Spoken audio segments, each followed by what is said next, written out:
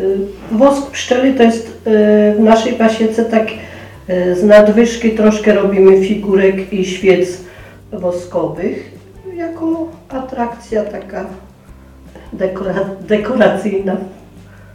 Jak nieraz jest, jesteśmy na jakichś targach czy, czy wystawach, to y, dodatkowo, żeby cieszyło oko klienta.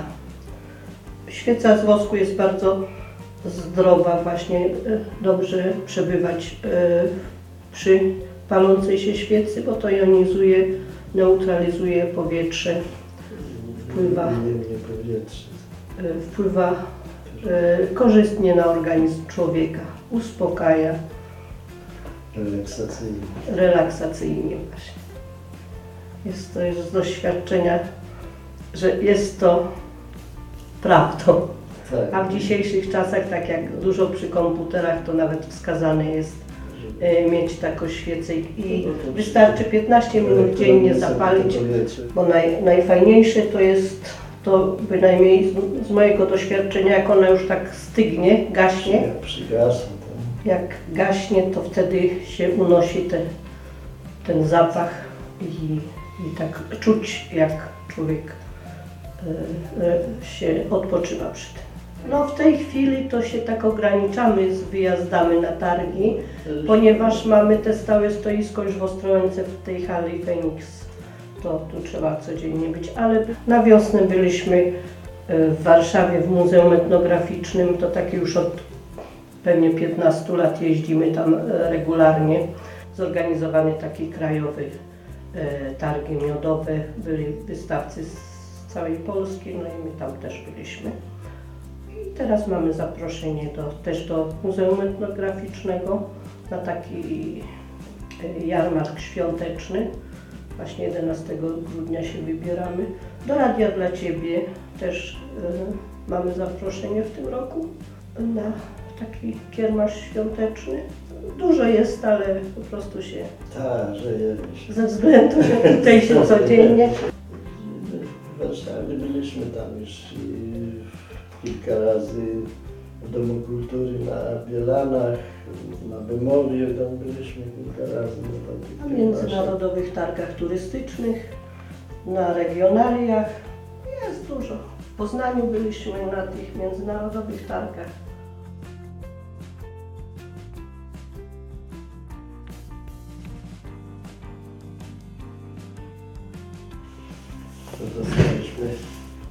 Jest nam bardzo miło. doroczną nagrodę Wójta i to historyczną po pierwsze.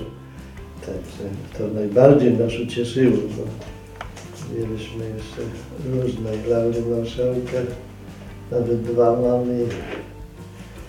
Także I, i tę perłę krajową, a najbardziej nas cieszy te miejscowe.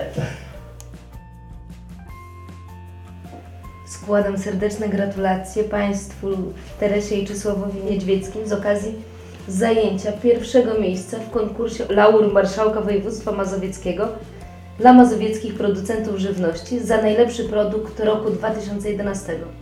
Wyrażamy podziękowanie za współpracę, zaangażowanie i niezwykle cenne staranie o promocję gminy Olszewo-Borki.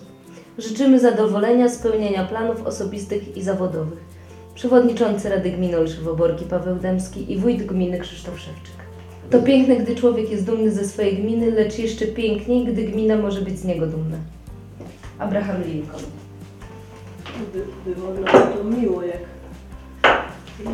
wójt nas zaprosił po tym drugim laurze marszałka, który otrzymaliśmy. na, na międzynarodowych targach lubelskich na cztery kategorie, a w dwóch kategoriach nasze miody były najlepsze przy ocenie laboratoryjnej. Czyli już wiadomo, gdzie trzeba przyjechać po miód, żeby być zdrowy. No wygląda, że, że na naszym terenie te miody są no, no, dobre. Nie ma,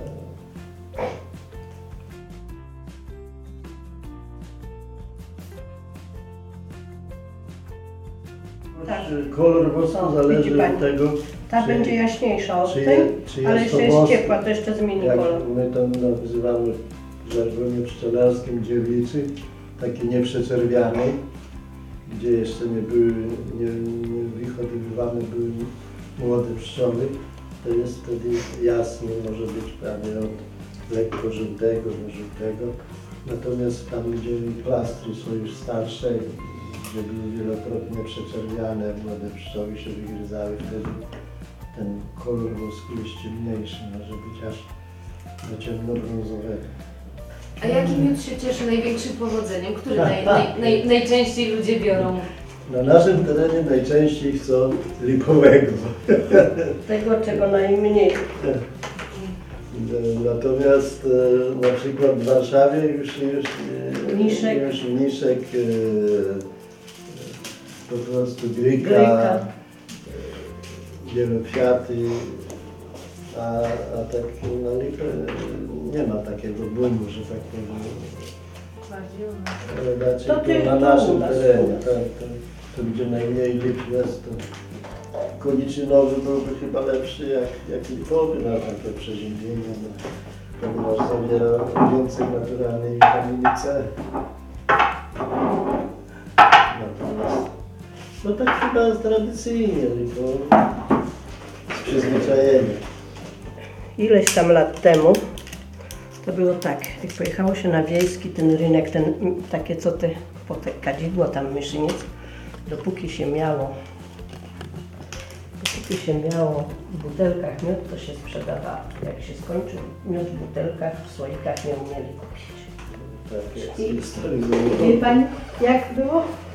Pani to może już tego, tego nie pamięta, może u Was tak, ale, ale trzymali wtedy na kuchni cieple i tam dzio- dziobali czymś jakimś, z tej butelki. Do przytyku. Najczęściej No tak było. Do tego doświadczyliśmy, że jak się skończyły, skończyły się butelki nam, e, to jak się nam skończyły, to, to już można było jechać do domu. Ale, ale najfajniejsze doświadczenie, takie jedne z rynku, kadzidle to było. Ileś tam lat temu kobieta miesiąc wcześniej kupiła u nas miód z jazgarki. Za miesiąc znowu przyszła. I tak z boku tak podchodzi, a, tak, a wiecie, ludzie nieufnie podchodzili i do dziś, już teraz to coraz mniej, ale bardzo nieufnie kupowali miód. Jak tak. To, to, tak chodziła taka ta fama, że to wszyscy podrabiają. I te kobiety, takie te starsze, tak przeszły, tak z boku stoją przy nas, tam przy tym naszym stoisku. No kupiłabym tego miodu. Ależ jest, ziemcu on dobry. I tak sobie, że no ja nie ziemcu on dobry. Tym kupiła, ale może niedobry. A ta, a ta właśnie co miesiąc wcześniej kupiła, stoi i nareszcie już nie wytrzyma. Miesiąc temu miód kupiła, dzieci miód zjedli, wszyscy żyją. Jak to, ta, jak to nie zaczną śmiech wszyscy i te kobiety wtedy. Ale ona, do dziś ją pamięta, ona taka, taka fajna ta kobietka, razowa, taka energiczna. Jak miesiąc temu miód kupiłam, dzieci miód zjedli, wszyscy żyją.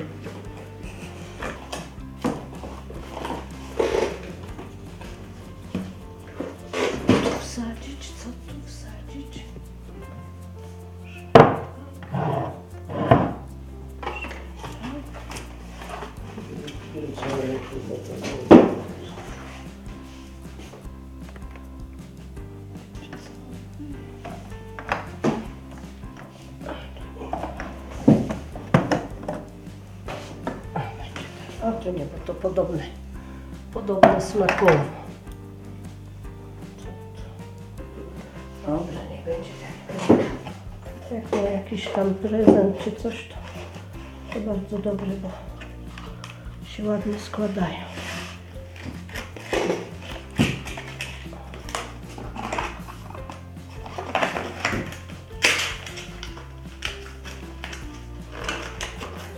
I tutaj jest rączka.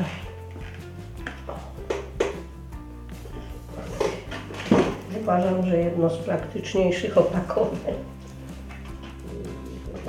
To panu jeszcze pokażę. One od swoim razu w słoik tu przyniosły.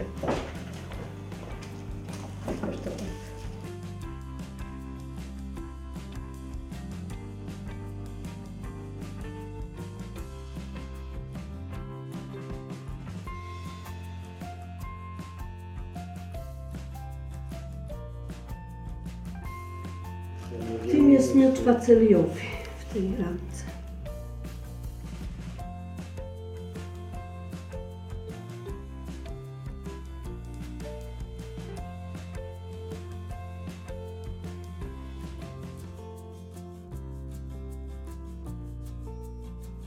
To Ludzie o jest tym nie e, wiedzą. miód z białej koniczyny z roku 83, to znaczy, że on ma już 33 lata i stopniowo po, po paru latach zaczął się rozwarstwiać od góry i coraz więcej jest ta warstwa płynna i u dołu skrystalizowana. E, No ogólnie po prostu ciemnieje też z czasem ten miód. Robi się ciemniejszy, bo koniczyna jest miodem takim dość jasnym. Natomiast ten już jest zbliżony do spadzi kolorem, czy gryki nawet, także, także to już jest stary miód, ale bez oznak fermentacji czy czegokolwiek, tak żeby się tu coś złego działo. Jeszcze wtedy właśnie wlewaliśmy w butelki po, po mleku, po śmietanie, bo inaczej by miodu nie sprzedał. I tak zostało nam chyba dwie takie buteleczki, które trzymamy dla potomnych.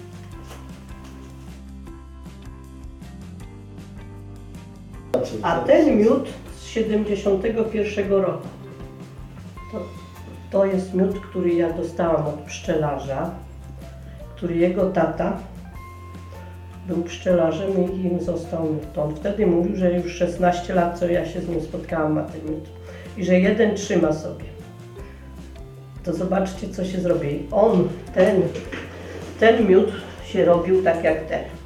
Doszedł do dołu, do dołu, upłynnił się do dołu i potem do góry z powrotem się skrystalizował. I już teraz, jak się skrystalizował ponownie, zachowuje konsystencję stałą. Nie wiem, jak będzie z tym, dlatego trzymam. I ja, jak się z tym panem dogadałam, więc Sprezentował. nie, ja go poprosiłam. I on, zrobiliśmy wymianę. Ja mu dałam miód, a on mnie przyniósł to. I, i ja to tak trzymam. Żeby, żeby pokazać, jak to wygląda. A już to było w których latach? Ze 25 lat temu co najmniej gdzieś, jak on mi to przyniósł.